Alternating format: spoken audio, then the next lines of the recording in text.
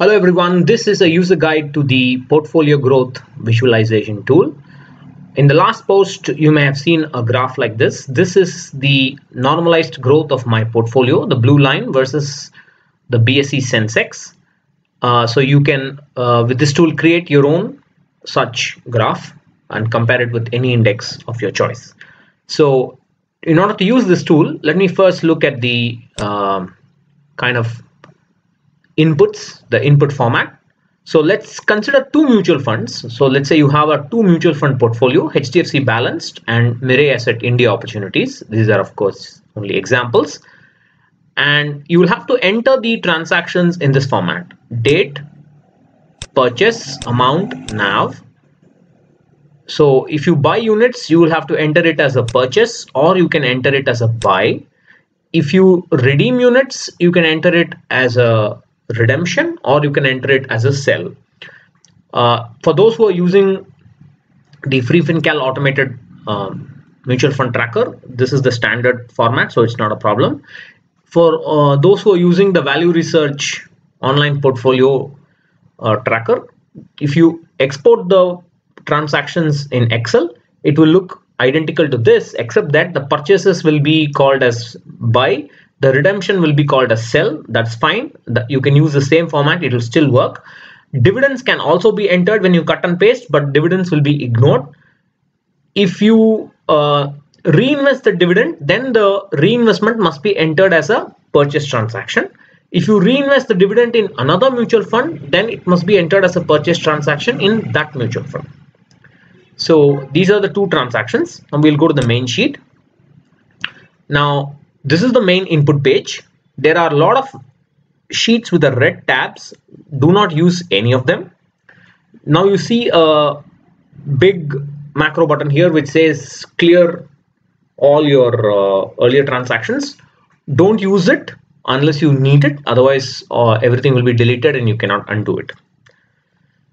So um, the first thing that you have to do is to find out from your consolidated CAMS Karvy FTML mutual uh, uh, mutual fund portfolio, the first date on which you bought mutual fund units, the first ever transaction that you made, that date should be entered here. This is a, uh, a once for all entry. Once you enter, you don't need to change it. Then in this blue section here, you can compare your portfolio growth with any of the indices that are shown here that is uh, all the redemptions and purchases that you make in your own portfolio in the various mutual funds they will be made on the same dates and with the same amounts in any of the indices uh, that you choose. And after you uh, choose it click process index data. Now this process can be done anytime. For example uh, i have already downloaded uh, nifty next 50 tri data for this uh, video. You can um, change it change the index now or you can change the index after you finish all uh, uploading all mutual fund transactions or whenever. It will still uh, reflect the change. So this can be done at any time.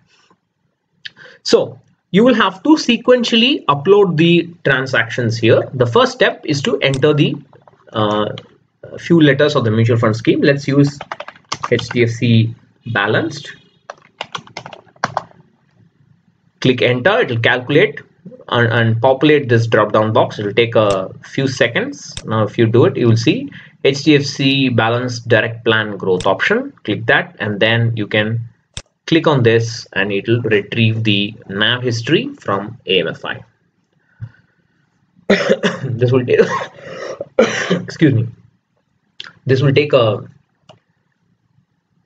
minute or so So while this happens, um, I'd like to tell you that this is for all mutual funds, both equity and debt. I would like to add a stock module to this so you can visualize the stock portfolio growth independently and add it to your equity uh, portfolio and look at the overall portfolio growth so we'll do that at some point in the future so once you finish the input section steps uh, once you finish step one step two and step three it will take you to the transactions page this is step four where you have to paste the transactions So I'll go to the sample sheet here, copy the transactions. I'm not going to copy all of them just for illustration. I'm just going to copy the transactions up till end of 2016. You'll see why I do that. Just copy this. Go here. You can just do a paste, but I would prefer to right click paste special values and number format. If I do this, the green color will not go away. So I'm just used to doing that. So once you paste it, that step four is done. Once you paste it, you have to click on step five.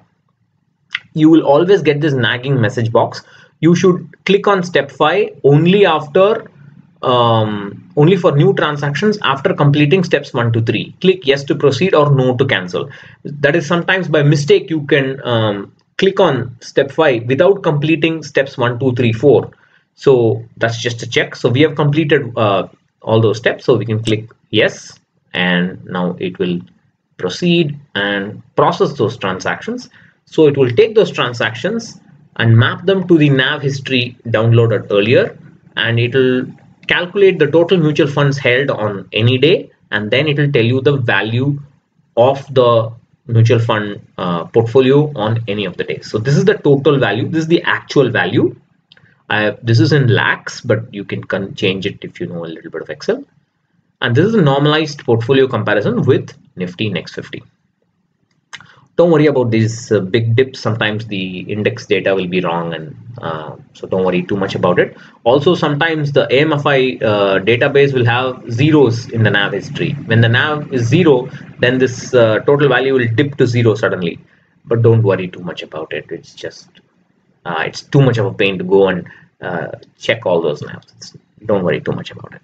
So that's the first transaction. Now we have to go back to the inputs and type the name of the second mutual fund.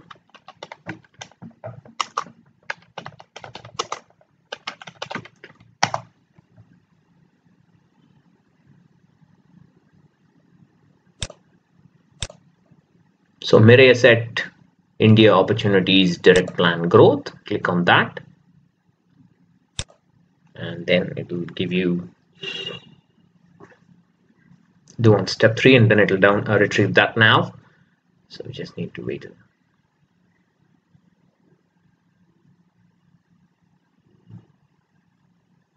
A bit while it comes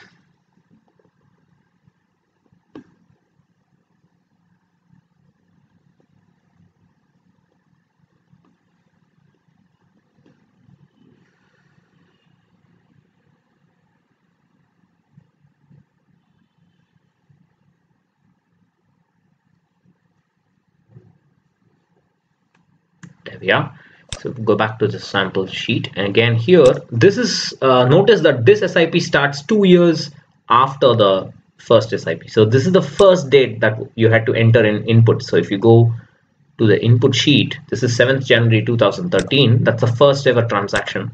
That is the date here. So let's go back here.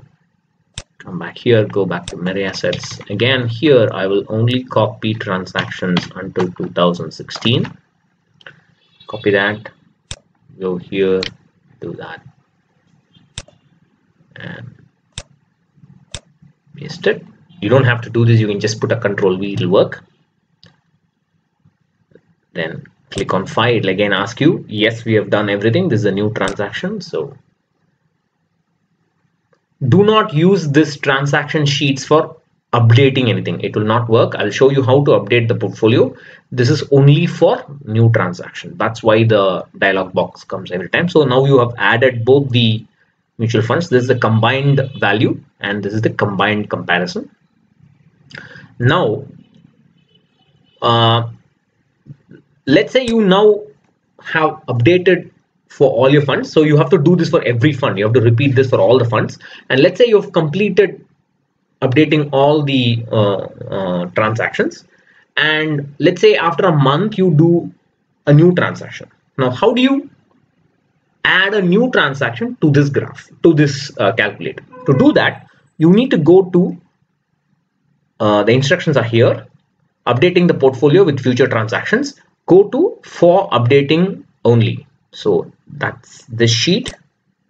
Notice that HDFC balanced all the transactions that you have uploaded so far are here the Mirae Asset Fund, all the transactions are here. Now scroll down to the HDFC fund, go to the sample sheet, and this is the reason why I did not add the 2017 transactions just to show you how the updation can be done.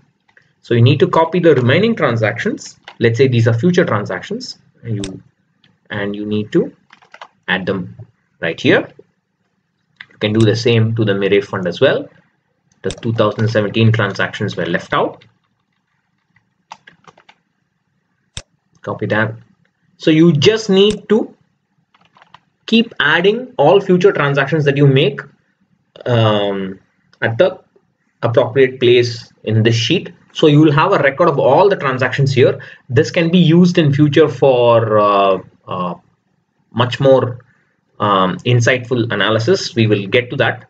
But for the moment uh, we will just look at portfolio growth. So excuse me. So the additional transactions have been entered. Now go back to the input sheet and use this button to update the portfolio graph. So now the portfolio graph will be updated. So it will take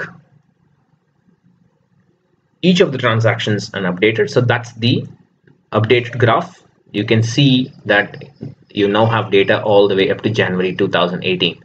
So that's it. So you'll have to uh, enter each transaction and after that you can update each transaction by going to the for updating sheet only. Now, if you do not find any of the mutual funds listed in this drop box here, you can go to the add new AMFI record and add it. And you'll have to choose the AMC and then uh, add to the database. It will add it and then you can, after that, use it. So it's not a uh, um, problem if uh, if there's a new uh, new fund and you have uh, invested in it. So that's it. So please use it and let me know how um, you find the sheet. Um, I'm not uh, sure if this is the best way to do it. Um, this is one way to do it. There are easier ways. Let me know. I will try to modify the sheet. So look forward to, uh, to your feedback and I'll catch you again in another video. Until then, uh, bye-bye.